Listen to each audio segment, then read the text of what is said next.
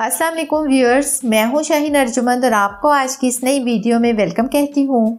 आज की इस वीडियो में मैं आपके साथ एक बहुत ही ज़बरदस्त क्रीम का रिव्यू शेयर कर रही हूँ, जो कि चायों के लिए तो जादुई क्रीम मानी जाती है। मतलब अगर किसी भी क्रीम से चाइयाँ ख़त्म नहीं हो रही तो आप ये क्रीम यूज़ कर लें। इसके अलावा ये cream sun spots, melasma, age spots और डार्क स्पॉट्स के लिए भी बहुत ज़्यादा इफ़ेक्टिव है। तो इस वीडियो में मैं आपको इस क्रीम के इस्तेमाल करने का तरीका भी बताऊँगी।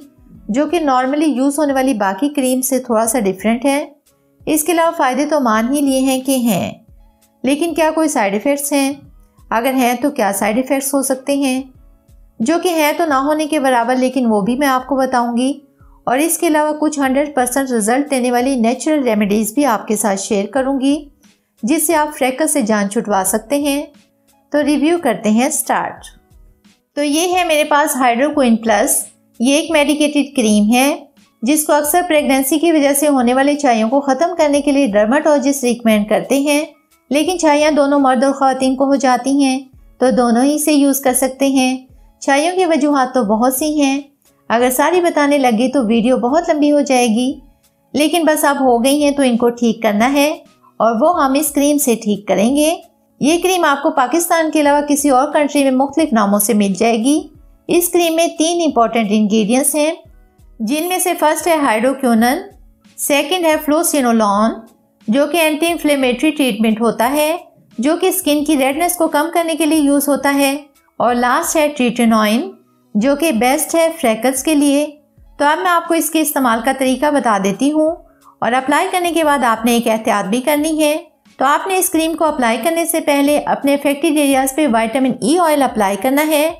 या कोई भी मॉइस्चराइज़र अप्लाई करना है, इसके बाद आपने ये क्रीम सिंपली लगा लेनी है, इस तरह से ज़्यादा रब या मसाज नहीं करना। वैसे आप मॉइस्चराइज़र के बगैर भी यूज़ कर सकते हैं, लेकिन इससे ये होगा कि स्किन थोड़ी सी ड्राई हो सकती है और इस तरह से अप्लाई करने से आपकी डेड स्किन रिमूव होगी स्किन पे एक चमक आएगी।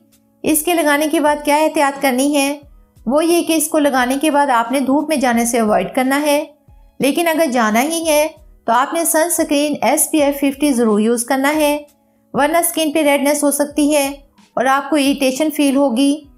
इस क्रीम को कौन लोग यूज़ ना करें, ये बताने से पहले आपको कुछ घरेलू टोटके भी बता देती हूँ, जिसको ना सिर्फ़ खुद यूज़ करती हूँ, बल्कि अगर कोई मुझसे पूछे तो यही रेमेडीज़ उनको बताती हूँ, जिनके रिजल्ट्स बहुत अच्छे हैं। और इन रेमेडीज़ का नुकसान तो बिल्कुल भी नहीं है। इन तीन रेमेडीज़ में से कोई एक डेली चेंज करते हुए सात दिन तक यूज़ करें। इन बेस्ट रिजल्ट्स मिलेंगे। सबसे पहला ये कि नमक में शहद मिलाकर रात को 15 मिनट तक लगाएँ और फिर वॉश कर दें। सेकेंड ये कि लेमन जूस को डायरेक्टली फेस पे अप्लाई करें कॉटन बूल की मदद से और 15 मिनट के बाद फेस को वॉश कर लें। थर्ड ये कि प्याज काट कर डायरेक्टली फेस पे रब करें। जल्दी रिज़ल्ट के लिए तीनों को रोज़ाना सुबह, दोपहर और शाम के हिसाब से स्किन पे लगाएँ। और इसके अलावा अपनी डाइट का ख़ास ख्याल रखें। पानी का इस्तेमाल ज़्यादा से ज़्यादा किया करें और स्किन को मेंटेन करने के लिए वक्ता फ़वक्ता वाइटामिन सी लेती रहा करें। इसके अलावा इस क्रीम को वो लोग यूज़ ना करें जो ऑलरेडी स्किन पे किसी भी किस्म का कोई ट्रीटमेंट करवा रही हैं। तो इसको वो यूज़ करने से अवॉइड करें। तो कोई भी क्वेश्चन आप पूछना चाहें तो वो आप कमेंट बॉक्स में मुझसे पूछ सकते हैं। आपको फ़ौर रिप्लाई मिलेगा इन और वीडियो को लाइक और चैनल को सब्सक्राइब ज़रूर कीजिएगा। मुझे दें इजाज़त। अल्लाह हाफिज़।